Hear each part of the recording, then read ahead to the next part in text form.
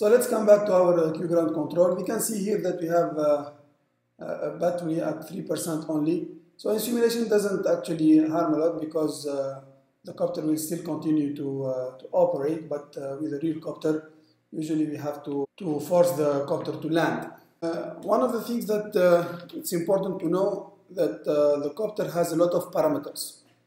Okay, for example, the system ID is one of the parameters of the copter. Every copter has is identified by a certain ID.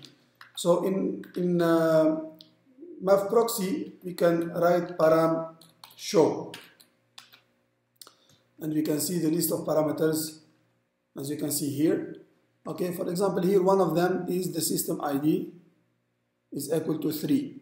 Okay, and this actually can be set you can change any parameter uh, from this list just using the command param set and then you select the parameter. For example uh, sys id this MAV.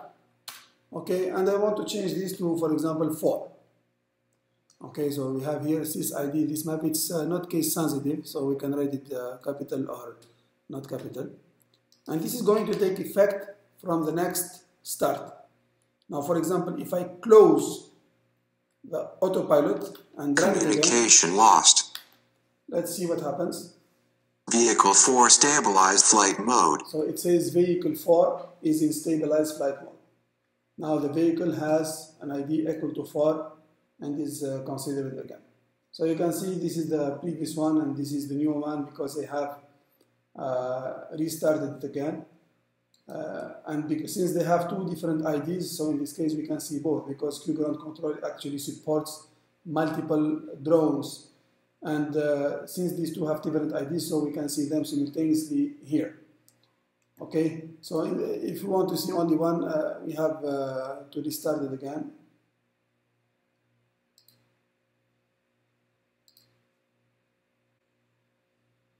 Stabilize flight mode okay and then you have only this drone here. We can do the same thing from the graphical user interface. Uh, so here we have uh, several parameters uh, firmware airframe radio flight modes. So this is re related basically to the configuration of uh, the parameters of the real drone. I'm not going to change uh, any of this but what we'd like to see now is the list of parameters. Okay so you can see the same parameters that we find here using param show Okay, all of them are here. So let's, for example, now try to find the system ID. We can just write sys ID and it's going to find everything that contains sys ID. Okay, now we have sys ID my ground station and sys ID this MAV. So this is the parameter that we have changed. It's equal to 4. If you want to change it again from QGroundControl, it's possible.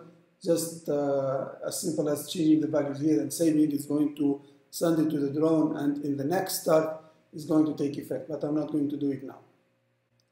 And there are several parameters. There are parameters related to safety, for example, like uh, arming check, arm. We can see all the parameters with arm, search. So one of them is arming check. So you can see here before uh, we start arming, so before the autopilot is able to arm the copter, when we check all, this means that all the sensors must be checked and uh, must be working correctly as expected.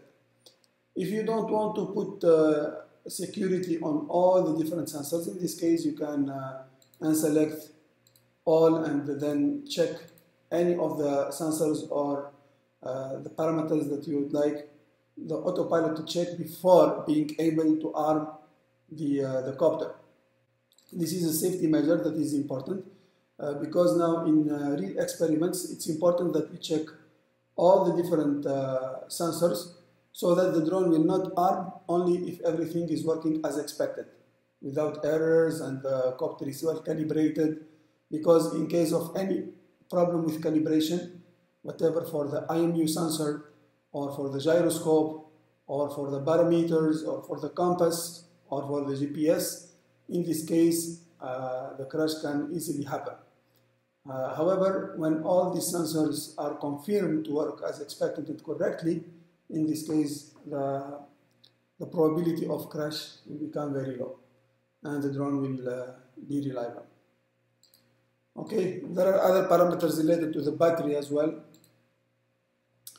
We can see them here and the same can also be shown here. So for example, uh, if we make sys ID, show ID, uh, this MAV, so it's going to show the current parameter. If you make with a star wildcard, in this case it's going to provide all the information that contains sys_id or the parameters that provide sys_id. So to summarize, if you want to show a parameter, you use show. If you want to change a parameter, you use set. Okay, so you can use set, the parameter and the new value, and it's going to change.